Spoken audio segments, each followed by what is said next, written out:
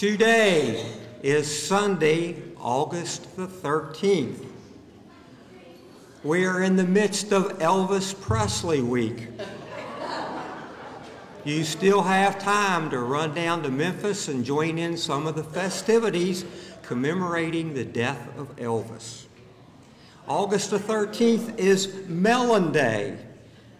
Now, specifically, that is cantaloupes and muskmelons, not watermelons. You'll have to read on that if you want to know more. It is also filet mignon day. And the pastor says if you like, you can take him out to a filet mignon dinner. Now, the big one it is International Left Handers Day. Now, uh, there's a little blurb that goes with that, but be asking yourself how, what percentage of our population in the United States do you think are left handed? See if you can guess that, and here it comes in the blurb. The beginning of International Left-Handers Day dates back to August the 13th, 1976, when it was founded by a guy named Dean Campbell, an American publicist and founder of Left-Handers International.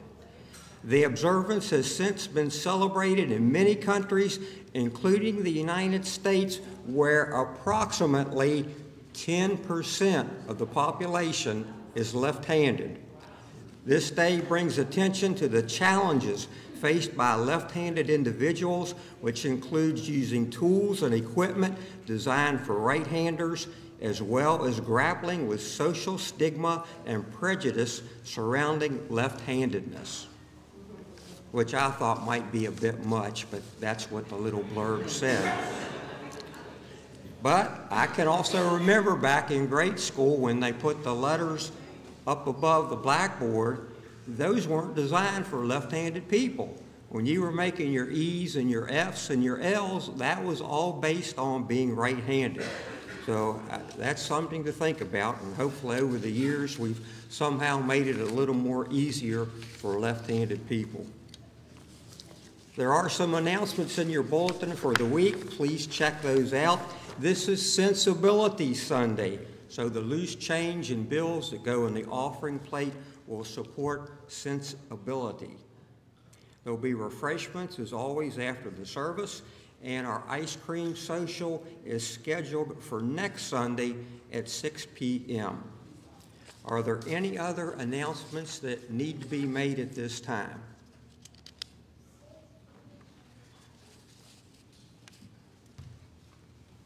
Thank you, Steve.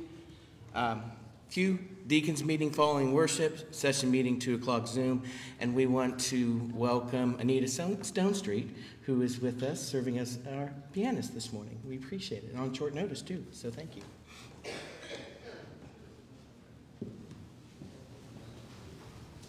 Let us begin our service with the prelude.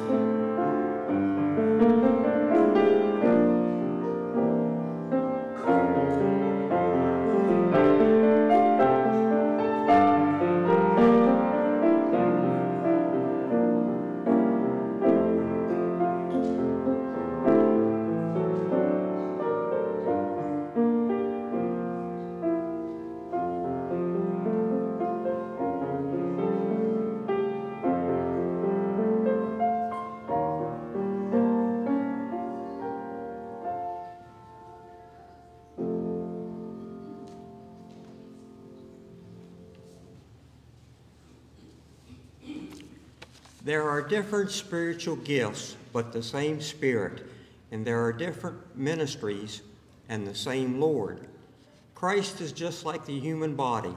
A body is a unit, and all the parts of the body are one body, even though there are many parts. We are all baptized by one Spirit into one body, whether Jew or Greek, or slave or free. We were all given one Spirit. Come, Holy Spirit, let us worship God. Please stand for our first hymn, This is My Father's World.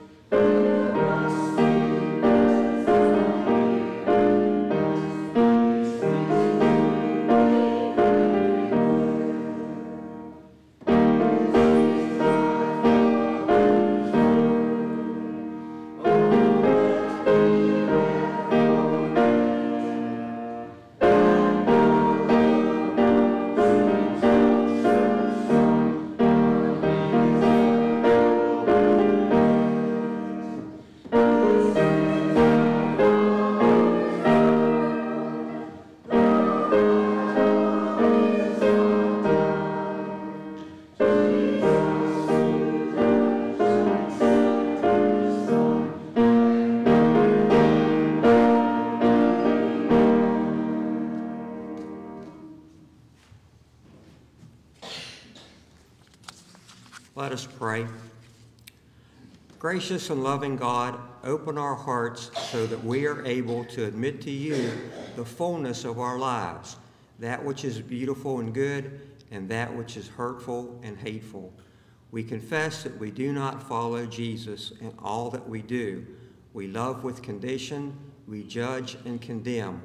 We cast the first stone and keep the logs in our own eyes. We do not turn to you as the source of our healing. Forgive us, we pray. Forgive our sin and empower us to be imitators of Christ in love and service.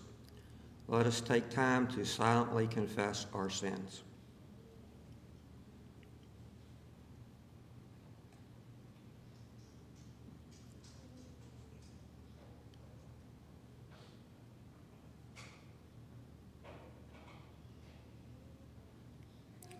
Amen. Friends in Christ, know this the mercy of God is from everlasting to everlasting, and you are reminded of this surpassing grace.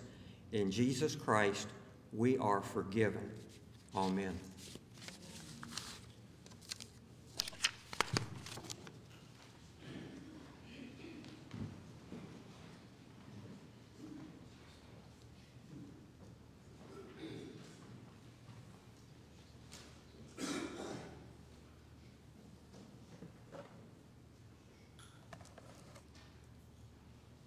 I think this is on. Good morning. Good A special song I want to sing for a special lady who requested this. You'll have to guess who it is. I'm not going to tell you who it is. She'd be embarrassed. But I sang it, oh, probably a year or so ago, and it speaks to a lot of us. It's called Thank You.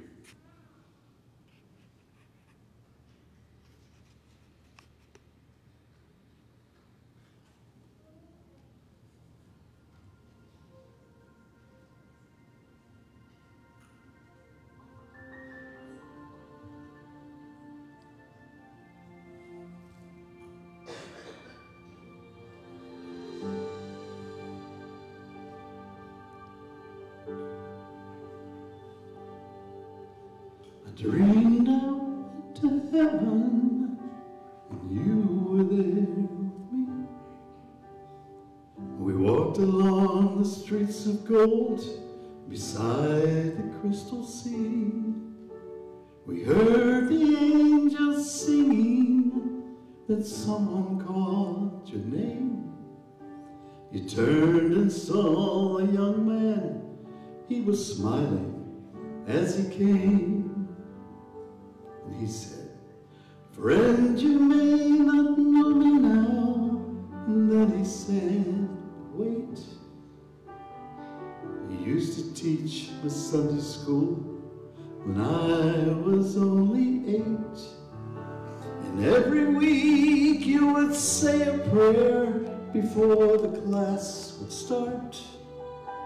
One morning when you said that prayer, I asked Jesus in my heart.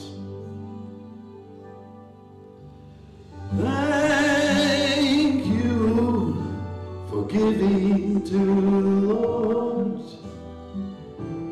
I am life that was changed.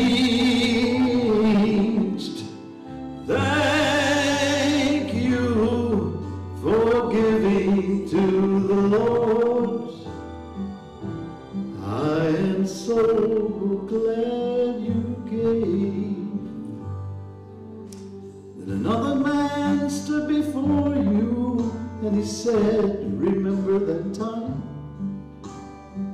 A missionary came to our church, pictures made you cry. You didn't have much money, but you gave it anyway. And Jesus took the gift you gave, and that's why I'm here today.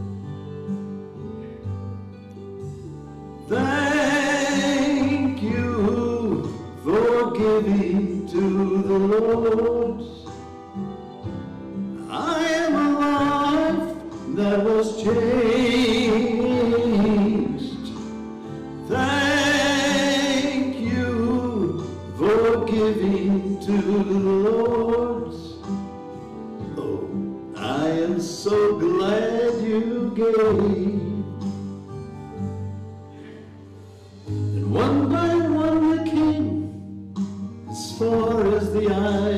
See.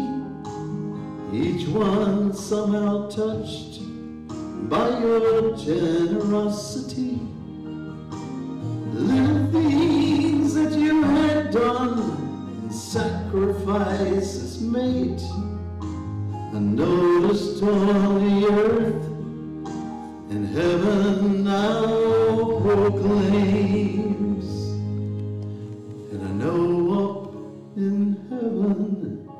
You're not supposed to cry. But I was almost sure the tears in your eyes.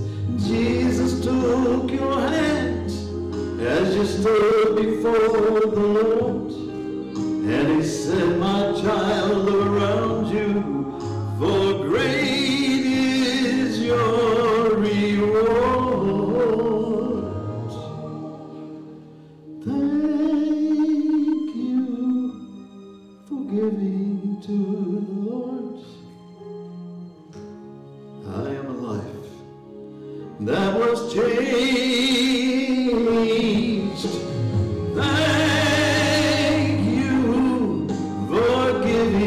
to the.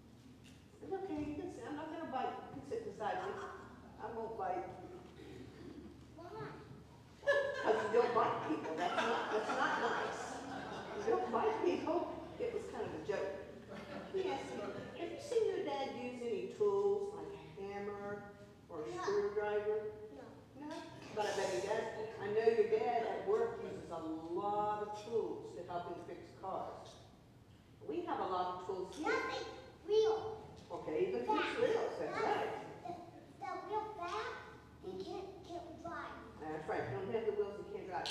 Our lights here, up above, that's a tool to help us see when we're in here.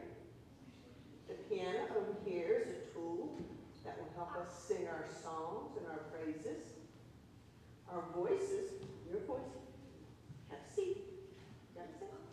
Your voice is a tool to help us praise God. And I even have a tool here on my phone. Yeah, it's a flashlight. So if it gets really dark in here, see? If it's really dark, I can use it to help see. But you know what? One of the best tools I have to use in my life Why? is this book. Now, do you think a book could be a good tool? Do you think a book can be a good tool? You can, because books help you in school and things. Okay. Let me read you from Psalm 119, verse 105. It says, Your word is a lamp unto my feet and a light for my path. Now, if I hold this book out, is it going to shine a light like No. my flesh? No. We have to take these words and put them inside our heart. Okay? Put them in our heart. Put them in our mind. Think about them. If we do what the Bible tells us to do, what God has done in here, it tells us the words that God spoke, that Jesus spoke. And Jesus gave us several things he told us to do, commands. And that's to love one another. Okay? So, if we take the words that are in this book, like a tool, and we use those words in our heart and in our mind, oh, okay, then this will lead us. We, it'll be like a light. I have the flashlight shining in my path. Am I going to stumble and fall? No, because I'll be able to see where I'm going.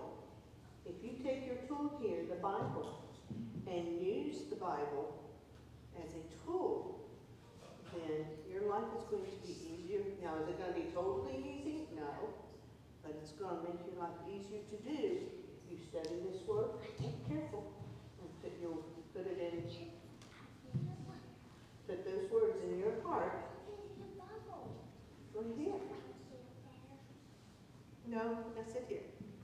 Okay? So think about that as you start school, to think about all the words that here Jesus told us to do, put them in your heart and mind, and use them as a tool to learn and help you get through life. Because this is one, Holy Bible is one of the most valuable tools you could ever have. Okay? Let's have a little prayer. Lord, we thank you for these little ones, and we pray that they come to know you through your word, and that they truly do use the Bible as a tool to live by. Thank you for giving us this- these Bibles to help us, because we need all the help we can get. Watch over them on high. In Jesus' name we pray. Amen. Okay, we can go on to.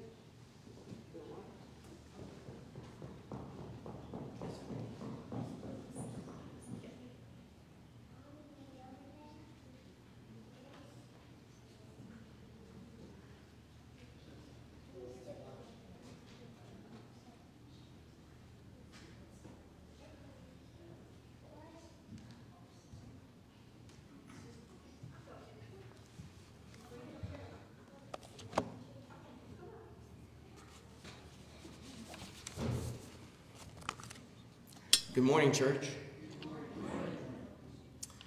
First of all, I would like to thank Ann, Bill, Steve, Anita for being part of leading worship of our God as we, as the people of God, come together. Let's never take for granted the gifts of the body, most of all given and used for the glory of God. And so we come to God's Word, as Anne has said, is really the greatest tool that we have, one of the greatest gifts we've been given. And more than anything, it is the word of the Lord. And so we come with open hearts and minds to listen, receive, and respond. So let's prepare our hearts to hear the word from Philippians chapter 1, beginning in verse 1.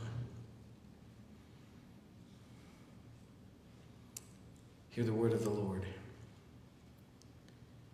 Paul and Timothy, servants of Christ Jesus, to all God's holy people in Christ Jesus at Philippi, together with all the overseers and deacons, grace and peace to you from God our Father and the Lord Jesus Christ.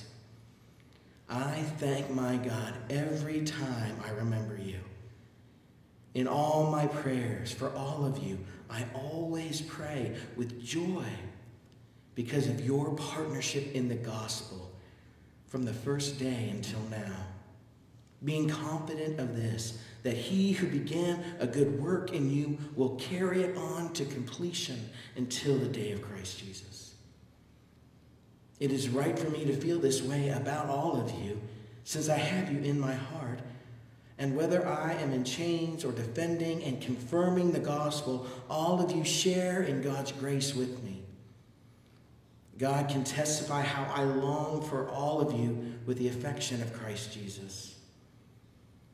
And this is my prayer that your love may abound more and more in knowledge and depth of insight, so that you may be able to discern what is best and may be pure and blameless for the day of Christ, filled with the fruit of righteousness that comes through Jesus Christ to the glory and praise of God. The word of the Lord. Please pray with me.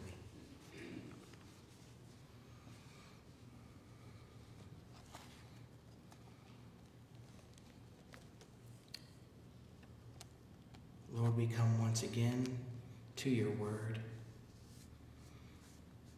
More than anything, we want to see Jesus. We pray that you will focus our minds and kindle our hearts, that we may once again be in awe of who you are,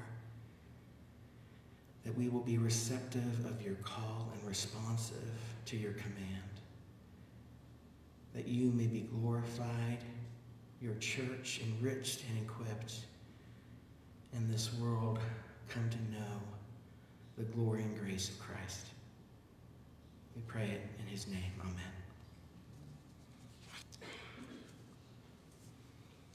One day, a man, after a long day of work, got on the bus like he had done every day. And every day he got on that same bus and he sat in that same seat, left side, seven rows back. Two stops later, a, a rather robust elderly woman got on, and just as she did every day, she took her same seat, right side, six rows back. And so she turned and she acknowledged the man with a smile, as she did every day. But today she spoke. You know, we see each other every day, and I, I don't believe that I've ever shown you pictures of my grandchildren. And so she's opening her pocketbook to the photo section, and, and the man cut his eyes and replied to her, No, ma'am, you haven't, and I haven't told you how thankful that you haven't.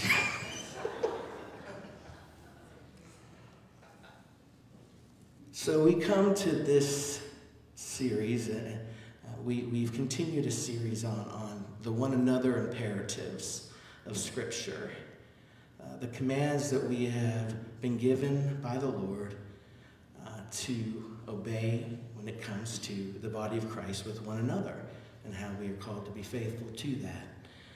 And we come to part six this morning, which is appreciate one another. And appreciation is something that we all need. Not the kind that that guy showed to that lady on the bus. That was not appreciation. I'm sure she didn't appreciate it either. But true appreciation. You know, especially as we think about school getting started again, this Friday, I believe, for Kanawha County. Uh, and these days, but also throughout the school year, and maybe looking back if you've graduated, and maybe your kids have graduated, or maybe your grandkids. But still, if there's opportunities to express our appreciation, I think it's a good way to do it as the year starts out. Our, our teachers, the administration, the staff, the volunteers. But you know, every worker, whether we're talking about our waiters and waitresses or garbage collectors, in every profession, and also in the home, our moms and dads and grandmas and grandpas, maybe our siblings even. We should be appreciative and thankful for them. And they need to feel that someone is thankful for what they've done. You know, we know, we think we know what it means to appreciate, to be grateful, but I still think appreciation is a lost art. Something that's taken for granted and often absent. In a world where we're taught at an early age to really take what you can get, we have forgotten what it really means to be appreciative. And so, this is an area in which I believe the church is certainly not exempt, and that God's people often have also forgotten the power expressed in appreciating others. See, when God made you and me, He knew how much we would need to be appreciated. Now, again, we want to be pointing out that we shouldn't simply live to be thanked. We live to serve because Christ served and gave his life as a ransom for many. We shouldn't be expecting those thanks as if we're entitled to it, but yet there is something in us, this heartfelt desire to at least know appreciation. God knew that this world would be filled with pitfalls, discouragements, that it would be easier to get down on our work and our churches and our communities and our families and maybe even ourselves. I feel the world is even more so every day. Social media, our teenagers, there's so much getting down on each other and depreciating each other. It's tragic to see. Because words are powerful. Words are incredibly powerful. People say, uh, doesn't matter what you say, show me what you do. And I'm all about the importance of action and fruitfulness, but never undermine or, or underestimate the significance of words. Because when you're excited about the direction of your life, one word can bring it crashing down. One word. When you are in the pit of despair, it's one word that can lift you up. James talks all about the power of the tongue. You know, many authors have expressed in many ways that the deepest need of individuals is to be appreciated. I certainly feel that that's one important central expression of what it means to love. People are hungry, they are starving for appreciation. As Paul sat in prison in Rome, there were many things that he could no longer do. When we think we're in a certain position in life, we may feel like, what else do I have to offer? What can I offer now?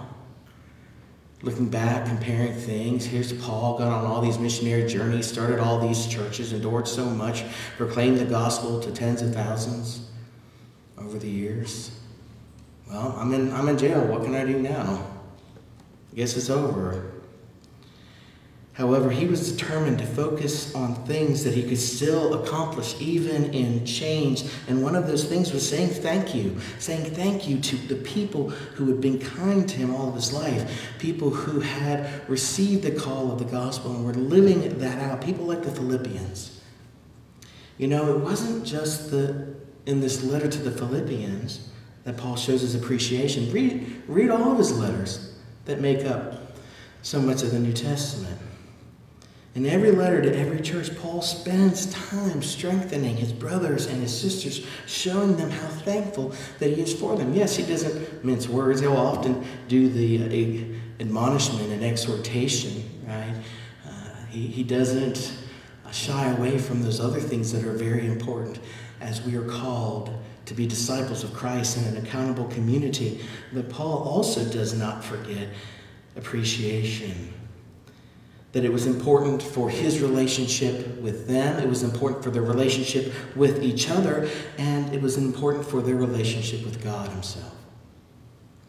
And I believe that there are times that even though we, we do appreciate others, we don't take the time to say it.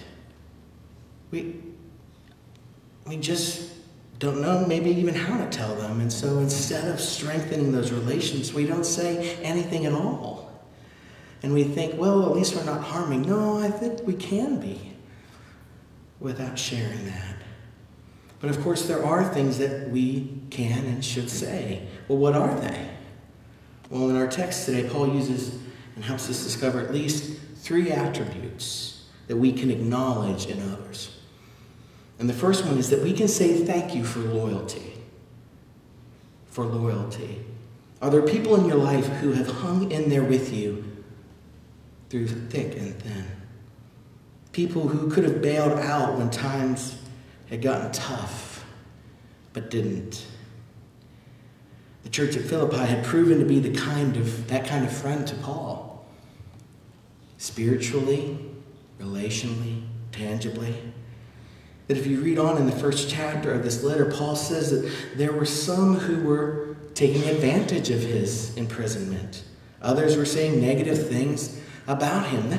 Wouldn't that be tough, being stuck in prison, knowing that people were going around uh, slandering and spreading lies about him? And yet, here, instead of Paul trying to say, no, no, no, no, no, no, that's not the truth, he starts to thank those whom he know, knew were honest and loyal. Some, no doubt, likely forgot about Paul altogether, but here are the Philippians. They didn't forget him as these years went by. Even they send a gift to him. They send a gift to him while he is in chains. And people think, well, what's he going to do with that? It's the point of remembering and showing appreciation. And consequently, Paul writes the following words I thank my God every time I remember you. They were Paul's booster club. And I feel like a lot of people, like if you mention a booster club today at school, they're like, what? You know, they supported him, they, they stood up for him. Much of what the Philippians did for Paul was behind the scenes. I think it's always important to highlight those who have chosen not to be in light, uh, that like to serve behind the scenes, because I think that's a huge sign of humility and self denial. Behind the scenes people, they deserve our appreciation. And according to, you know, what how the world defines things, maybe they don't seem all that spectacular. They may not do anything that really stands out of the ordinary. But just the fact that they stick with you and they serve so sacrificially with nothing expected in return, that should be appreciated and not taken for granted. You know, in the, the old classic Western tombstone, just before the good guys go in to take over the town, Val Kilmer, who plays the role of Doc Holliday, is asked by another cowboy why he would risk his life for Wyatt Earp. And Holliday says, because Wyatt Earp is my friend. And the cowboy said, well, I've got lots of friends. And Holliday says, I don't. You know, in this world, we have an awful lot of acquaintances, but it seems very few that will stick closer than a brother. True friends are hard to come by, but only a true friend is willing to share everything they've got. And those, those true friends, they're priceless. And if you're not appreciating them, that is certainly being something being taken for granted. You do not want to miss that opportunity. You know, some of us have family members, spouses who've stuck with us through bad times. There are a lot of different things. It could be a financial disaster, a midlife crisis, a health problem, a career decision, maybe worse. Some of us have been blessed with those family members who've shown wonderful support, and maybe we've come, that's the norm, the expectation, kind of the mode of operation and status quo. So we take them for granted.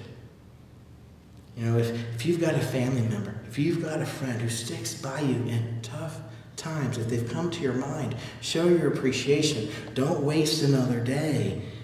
Show it because it'll only make the bond stronger. So, first, you can say thank you for loyalty. Second, we can say thank you for forbearance. Forbearance. This one's, this one's even tougher than loyalty. Forbearance. It's a gem we treasure in others. We love it when other people are forbearing, but we have a hard time finding it in ourselves. You know, I wonder why we insist on perfection from others when we certainly cannot produce it in ourselves. Some of us have maybe wasted even a lifetime trying to change other people in our lives, our parents, our children, our spouse, our friends. You know, one thing I sometimes tell engaged couples when I meet with them is I hope you're happy with your soon to be spouse the way that they are because trying to change them will be like putting a dress on a pig. It won't fit and you're just going to make it angry. So there's something to say about that. I think there's some truth. Paul wasn't perfect either. Just like this is one of the few times we see this kind of breakdown.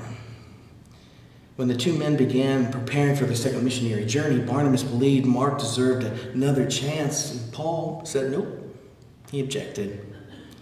And that difference of opinion was so great that those two men separated their ways. However, thankfully, we see as we read other scriptures, as the years pass, Paul seems to have learned the value of forbearance toward others. In the last letter that we have before his death, Paul pleads with Timothy to send John Mark to visit him, since Paul says he is helpful to me in my ministry. So Paul learned to appreciate others in spite of their shortcomings and failures. And so can we.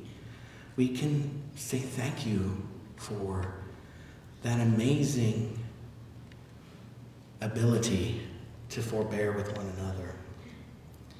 Finally, we can say thank you for others' good efforts. Good efforts. I didn't say perfect efforts. I said good efforts. You know, so we, we, we say that it's, it's, it's not the gift, but the thought that counts. But we really don't believe that, do we? We want someone to think highly of us, so highly that they will make sure everything that they do for us is perfect.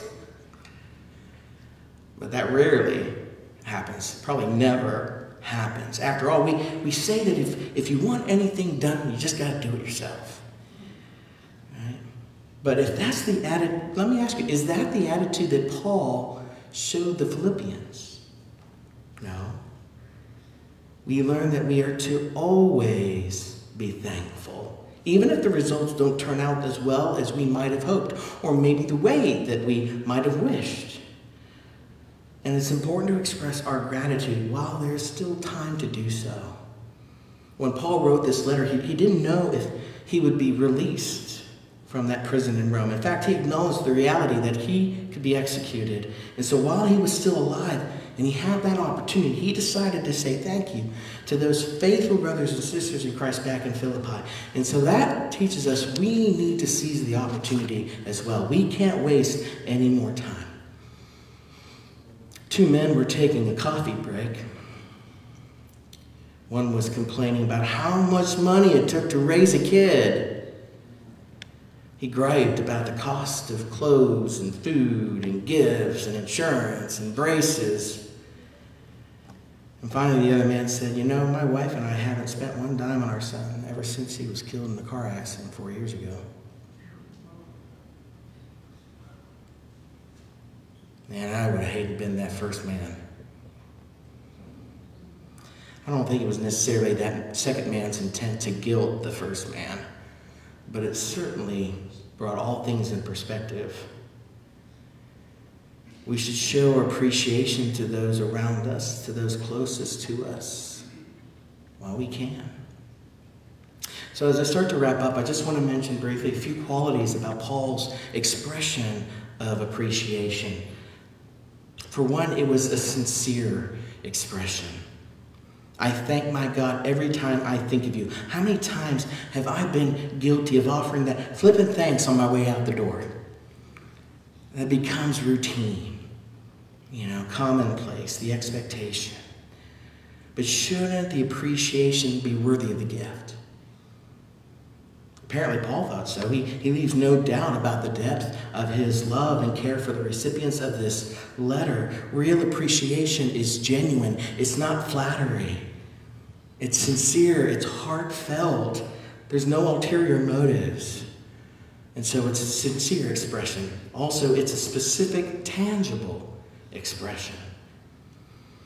I thank God because of your partnership, Paul says. Paul wanted this congregation to understand why they were so important to him. He considered them a partner in this great work to which God had called them. They were a partner in the gospel of Jesus Christ. And it meant so much to him that he was willing to take this time in a letter to write it perhaps very soon before his death, something that they could hold and read and save, and something to be transmitted throughout the centuries to us this morning. Something of value. And so, um, I think this is interesting, and this may be stereotypical. I don't usually fit into these kinds of stereotypes uh, when it comes to like guys, men and women, or whatever. Um, but thought this was interesting. Now, if you've ever dated someone, you may have to think back a while. If you've ever dated someone, you usually recognize this kind of early in the relationship. And the guy usually makes this huge discovery about the time of the first special occasion. It's called the card factor. The card factor. When it's time for presents, I've been trained well from my mama. You read the card first. You read the card first. I understand that as an adult now. But eh, this is how a lot of guys don't operate, especially not naturally, unless they've gone through the proper etiquette. We think, uh, let me get, give me the good stuff, right? Give me that gift. Often, you know, maybe maybe where I fall more short is the family night dinners when I've gotten my food and gone back to the table and realized I didn't think about the silverware or the napkins. You got to go back because you're just thinking about the food. You know, but with this, you know, it's often they go right to the gift. But often the, the more compassionate, thoughtful side of the human race, they know that this card is a written expression of how the giver of that gift feels. So let me give some, some help to us out there. Cards are important. They're important.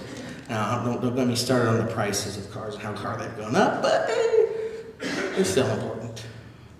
They are to the giver and they should be to the receiver. Paul's letter, his letter, was a recognizable means of expressing just how much he loved them. That the art of learning to say the right thing should be a life goal of ours. And maybe we get too much off the hook because of all the things that are kind of pre written and we select out where we don't take that time to be specific and tangible. Proverbs 15:23 says, "A man finds joy in giving an apt reply." How good is a timely word? Specific, tangible expressions of appreciation. Offer them whenever you can. And finally, finally, it was a recurring habit. Paul had developed this. He says, "In all my prayers for all of you." I think it's very interesting to read about how of some of the discipline that Paul developed for surviving life in prison. In chapter 4, he tells us that if we want to do more than just survive this life, if we want to thrive as the body of Christ, we must control our thought patterns. He had a lot of time to think there. For Paul, among other things, that meant developing a habit of saying thank you. Some of our thought patterns are about our gratefulness both to God and to others who had supported him. I believe that God desires for all of us to be more thankful in the day to day and to express it. Why? Because people wilt under criticism and neglect, but they blossom under affirmation, under appreciation. And so I challenge you this week to give a compliment every day to every person in your family. But it doesn't end there. Better your relations in the office, affirm your coworkers. Every time you appreciate the people around you, whatever those circles of life may be, you're raising their value. Now, again, the real value is determined by God. And thank God for that. Because He could have just tossed us out. But because of His grace and mercy, He's made us His, his own children. He was willing to give up the life of His Son to redeem us. We have the highest value in our Father's eyes. So, how can we treat others any differently? We have to consider about how we're treating people. You know, bosses who depreciate their staff through worldly eyes, they're lowering their value. But it's the same with Christians. If we constantly criticize our church family, then that family gets uglier and uglier in our eyes. In our eyes. And it's not true. Something the enemy can use. It begins to become what we've named it. So we need to resist that. Rather, we need to strive to be people of appreciation and grace, as Jesus has shown and taught. Most importantly, my last thing to say is that what we need to ask the question what can we do to truly appreciate God Himself? We, we may take Him for granted most of all. When was the last time we spent 15 minutes in prayer just in gratitude? Just in gratitude. No other reason. No supplications, confessions. Just thanksgiving. Because He's done so much for us that he came to give us newness of life. He came to give us the hope of heaven. He came to forgive our sin. He came to give us lives of newness and of life and meaning. So, how do I express my gratitude to Jesus? How do we? By giving myself to him because he gave himself for me. So let us live lives of appreciation to God and to one another. Let's pray.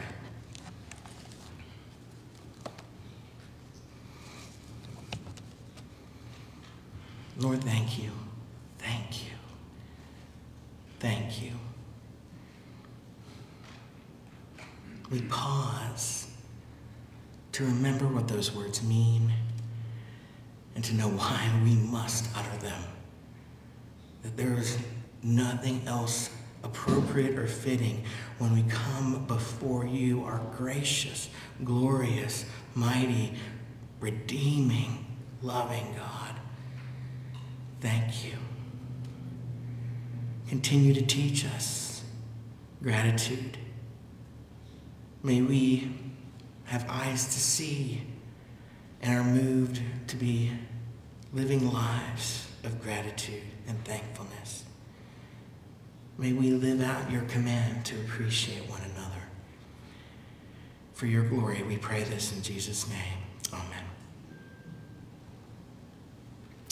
As we come to this time of giving back to the Lord, we again recall that this is the sensibility offering Sunday. So again, that, that loose change or any designated gifts will go to uh, local efforts to alleviate hunger, both St. Albans and, and other parts of the state with the presbytery. And again, as we've heard Bill sing, we are lives. We are lives that have been changed. And you know of others who you've experienced. Their lives have been changed, and God is still changing lives. So we want to thank you for giving to the Lord, for his glory, for his work, as we come to this time of tithes and Thank you.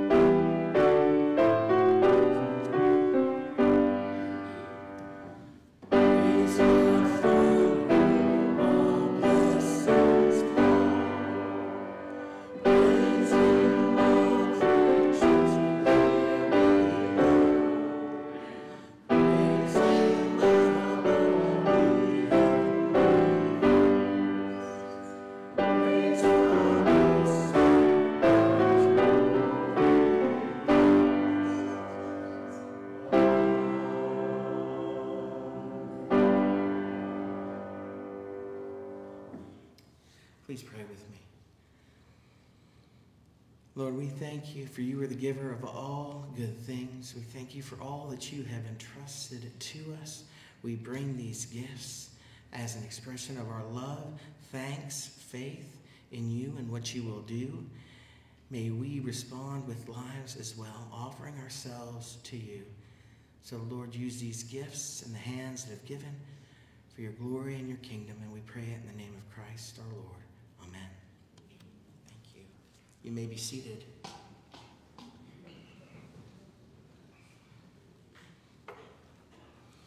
We come to a time of our worship where we come before the Lord in prayer and intercede on behalf of others. We have much to be grateful for, many things to celebrate and to praise God for, to testify to. And we also have things that are burdens on our hearts and those that we care about. We carry that with one another as well. So we want to begin with joys. Do we have things that you're thankful for? Celebrations. We've got Pam in the back.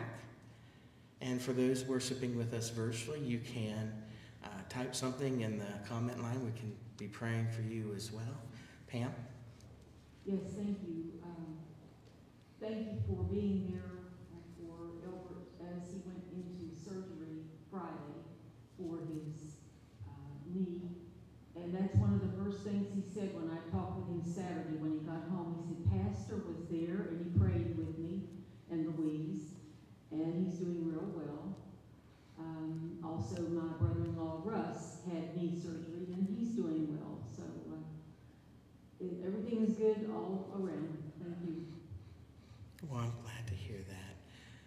Pam will be praying for both. All of y'all for all of your prayers. This came my sister. Wonderful, praising God. Wonderful. She is totally fine. Mm, praise God. free right now at the moment. Living for God again, doing all the things that she always done. She's just out and about, running around like a little child, as happy as can be, living for the Lord. And I thank y'all so very much, so very much. And I do want to continue to pray for me. Well, those who've been worshiping with us know, but those who maybe have been here more recently, we've been praying for Sherry's sister Annette, and we do give praise and glory to God for His healing power and that she is cancer free. And so we pray that she uses that, and we use that uh, to testify to His work um, and give thanks. Are there others? Other joys? How about concerns? Sherry. Um, we need to re- keep remembering Jim Recknagel and Barb as she cares for him for his road to recovery.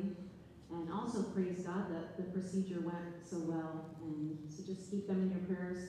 Um, also, my mom, um, she's the director of a hospital in upstate New York, and there's a lot of her staff um, just going through a lot of hard times right now. Um, you know, and it puts a strain on the work environment and um, on the emotions of the people that she works with. So please continue to keep her and the hospital staff in your prayers. Also, um, Hannah, my daughter, she's been sick for seven days now. And she's in the hospital at Women's and Children's. Um, and just, you know, I pray for wisdom and discernment for the doctors that they'll be able to figure out why she can't keep anything down. Um, to just continue to pray for her. And I think it's taken a, a toll on her emotions, um, just being sick for so long. So uh, please continue to remember her. And um, also, uh, Odessa and Ukraine, um, as they live amongst the rubble and try to repair their lives. Um, please continue to remember always my friend's family over you know the whole country as well. Thank you.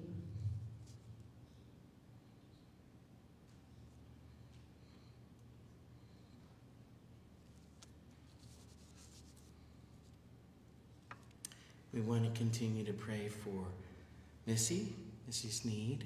Her information's in the bulletin where she is now for her physical rehabilitation, uh, occupational therapy as well. Um, it's in, uh, is it Ohio State? I know it's in Ohio. I'm trying to think of the addresses. Colum- well, St. Columbus. If you wanted to write notes and letters, I know that she would appreciate it. Her mom, Barb, and uh, husband, Michael, be able to uh, communicate those to her.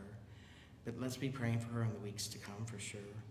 Um, we certainly want to be praying for our students going back to school and teachers and parents because there's a lot in the world today that maybe was not when we were students, uh, particularly things like opioids, substances, many other peer pressures, uh, even the effects of social media on uh, emotional well being, uh, new forms of, of bullying.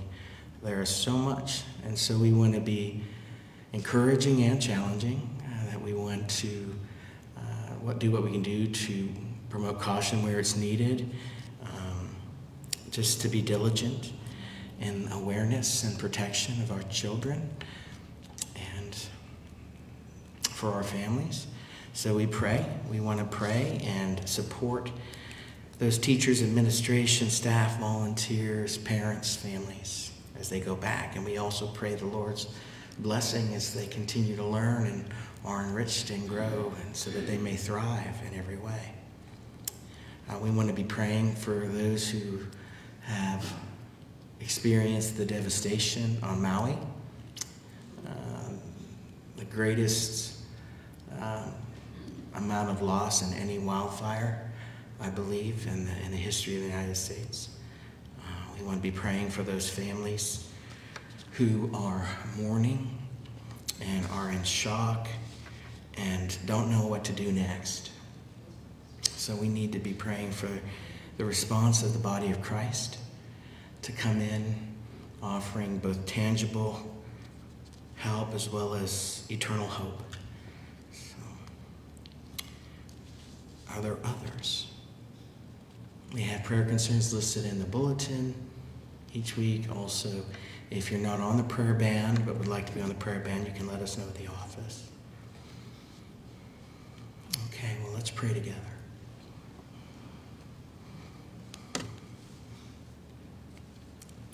Lord, we, we do come before you, and we thank you that you are a God who knows and who cares and who acts, that you are sovereign and good and working all things. Lord, we pray that you are glorified. We pray that you will work mightily within your church through the power of your Spirit. Lord, we pray that you will minister through your Spirit to bring comfort where it is needed and conviction where it is needed. Lord, we pray you use us as your hands and feet to bring hope and restoration and justice where it is needed, to bring your light where there is darkness, hope where there's despair, life where there's death. Lord, we lift up those that we've mentioned. We lift up those on our hearts that we think of. Lord, we pray that you also make us aware of those in need in our midst that we may respond as you're calling us to. We pray for those close to us, our family and friends. We pray for not only our community, but we pray for our nation. Lord, we pray that we will be a people that forsakes the idols of this world, not bowing to the things of this world, but passionate for you and your truth and your life, and that your church will, by your grace and spirit, embody that, that we come to turn from anything of self and seek you above all. And we pray your, your gospel to go out to every part of this world. That others may know the power and love and life of Jesus Christ. Show us how we as your church can do that as a people, as your body, to go out with that light and that life. Lord, we pray you bring your healing power whether it's physically or relationally or spiritually. And Lord, show us how we can be your tools, those you've called, called out to love as you have loved. And we praise you for your goodness. And we pray this in the name of our Savior, Jesus, who taught us to pray. Our Father, who art in heaven, hallowed be thy name. Thy kingdom come, thy will be done, on earth as it is in heaven. Give us this day our daily bread, and forgive us our debts as we forgive our debtors. And lead us not into temptation, but deliver us from evil. For thine is the kingdom, and the power, and the glory forever. Amen and amen.